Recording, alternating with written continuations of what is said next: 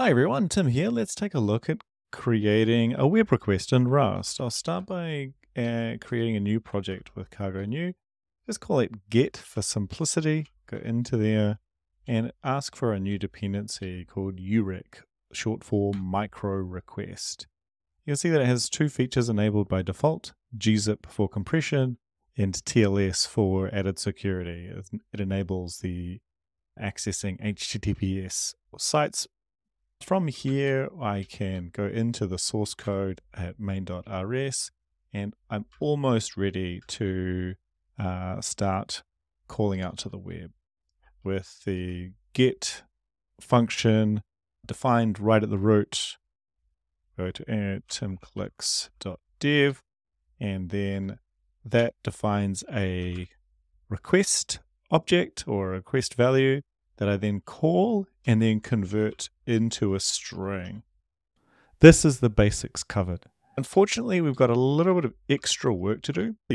Going to the web might cause an error, and therefore, this call returns a, a result as well as the conversion to a string might also cause a problem.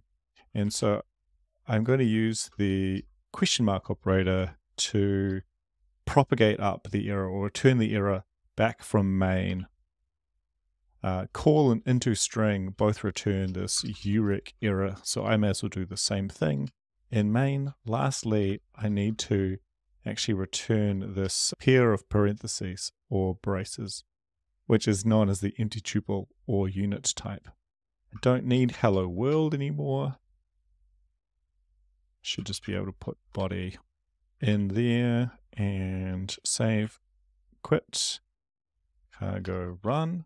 This will take a little bit of time to compile, and then we should see the web page in its text format or text form.